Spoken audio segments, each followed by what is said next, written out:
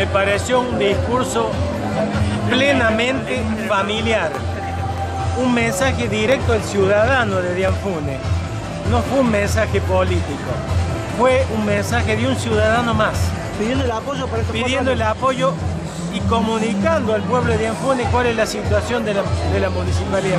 Me parece que fue un mensaje justo, justo, como si estuviera sentado en una mesa en una charla familiar, comunicándole cuál es la situación de la municipalidad. De su área, ¿qué hay para trabajar? Hay mucho. Muchísimo, muchísimo.